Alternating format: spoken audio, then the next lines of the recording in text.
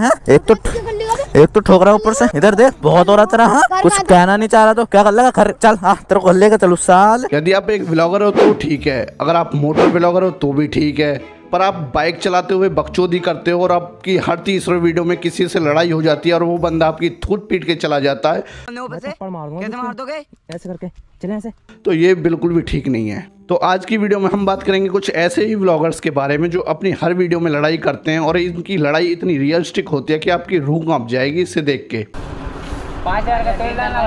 भैया पाँच हज़ार का तेल अब क्या सिलेंसर फाड़ के इसमें डलवाएगा क्या? या किसी और जगह में तेल डलवाना है तेरे को? मेरा मतलब कोई कट्टी बोतल कुछ तो लाए होते। इस बंदे ने हवाबाजी में बोल तो दिया पाँच हज़ार का तेल डाल दे। पर इसको नहीं पता कि इसका बाप पाँच हज़ार में पूरे घर का राशन लाता है महीने का। इसके भाई बहन माँ बाप सब एक महीने का राशन खाते हैं पाँच हज़ार में। गलती से इसमें पाँच हज़ार का तेल डलवा मत लियो नहीं तो तेरा बाप तेरी चुटिया पकड़ के टंगे फाड़ के उसमें तेरा मुँह डाल देगा। अरे अरे अरे! उले उले उले उले भैया उले उले उले उले। उले उले अरे अरे अरे अरे अरे भैया अरे कोई स्टेप नहीं फाड़ दो इसकी। अरे इसको पिंचर कर दो कोई। जहरी है ये बंदा। अगर ये जहरी बंदा मेरे सामने ऐसे हरकत कर रहा होता ना तो एक घुसंड में इसकी पसली टहला देता इसका सारा जहर बाहर निकाल देता। क्या क्या, क्या दिक्कत है? एक मिनट रुक जा भाई क्या दिक्कत है? ये तो भैया पी टाउन का मेंबर है। भैया जो मैंने बोला ना पसली वसली टहलाने का मैं अपने शब्द वापस लेता हूँ। मुझे अपना चैनल नहीं उड़वाना। ये एम सी स्टैंड के फ़ैन मेरा चैनल उड़ा देंगे मुझे तो इसका पूसी का चश्मा देख के समझ जाना चाहिए था। भैया मेरे मुँह तय निकलेगी मुझे माफ़ कर दो। पूरा भाई समझ नहीं आ रहा यार। क्या दिक्कत है भाई? भाई हम लोगों को पाँच हज़ार का तेल लेना था। गाड़ी तुम लगाया कैसे? अपन लोगों को लेना था। हाँ, हम लोगों ए हटले बाबू लोग बाबू लोग हटले साइडोले बाबू लोग।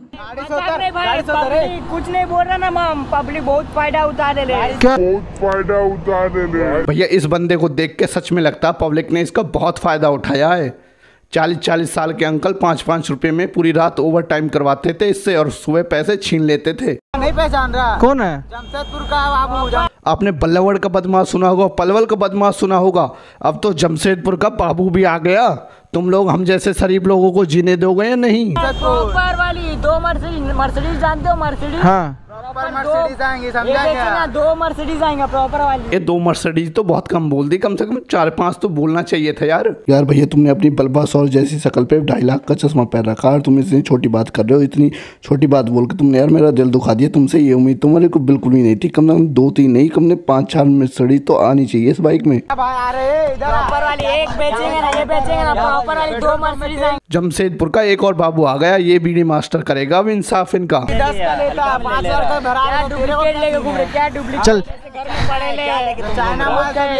है। साढ़े चुप। एक एक करके बोलो सर में दर्द कर दिया।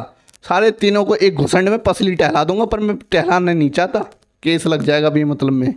भाई मैं तो हूँ धारा सिंह। हल्के में ले रे लाए। चले रेस लगा चल। चल लगा ले। लगा ले। चल तेरे एच के साथ। भैया, इन दाढ़ी मजदूरों की पचास पचास रुपए की एक्टिंग तो मैंने देख ली, पर इनकी दस रुपए वाली रेस मैं नहीं देख पाऊँगा, इसलिए मैं वीडियो का यहीं एंड करता हूँ। तो बस यार, आज की वीडियो में इतना ही। आई होप आपको वीडियो पसंद आई होगी तो वीडियो को लाइक करें कमेंट करें चैनल को हमारे सब्सक्राइब करें, ऐसी और वीडियो देखने के लिए। जय हिंद।